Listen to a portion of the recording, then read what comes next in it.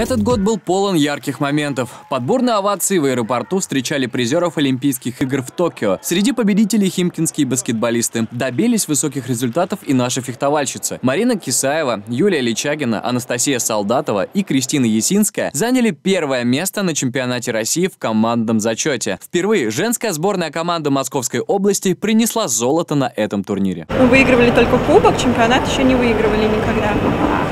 Вот, так что мы рады. Ошибки тоже были, конечно, особенно поначалу. Наверное, уже ближе к финалу уже все расфехтовались, все хорошо там чувствовали, видели момент. Потому что команда у нас хорошая, слаженная, вот, и мы очень старались все по укольчику, по укольчику выиграли. Мы претендовали напрямую на это звание. Городской округ динамично развивался. Благоустраивались дворы, строилось современное, комфортное жилье. Так, в декабре собственники 914 квартир получили заветные ключи в жилом комплексе «Рафинат». А в следующем году здесь начнется строительство детского сада, совмещенного с начальной школой. Это социальные объекты, которых нам так не хватает на сегодняшний день в нашем городском округе Химки. Здесь предусмотрено 270, 276 мест а, для детишек дошкольного дошкольного и начального школьного образования. Химки стали лидерами и в образовании. Центральная детская школа искусств признана лучшей в России. Главная задача школы всегда заключалась в том, чтобы выявлять талантливых детей и помочь им реализовать свой потенциал. На этом достижении коллектив школы не планирует останавливаться, а только подкрепляет свое высокое звание победами на конкурсах и фестивалях. Я думаю, что это судьба. Это нам большой подарок 65-летию. И, безусловно, это признание нашего труда, э, коллектива нашего на протяжении многих десятилетий. Большое спасибо родителям, которые нам доверяют.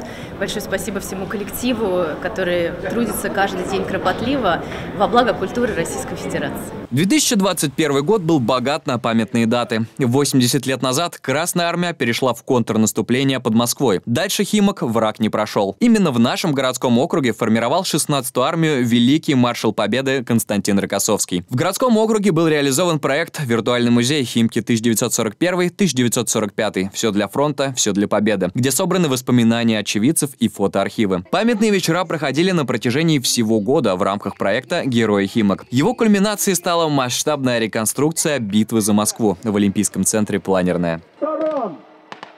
Политрук!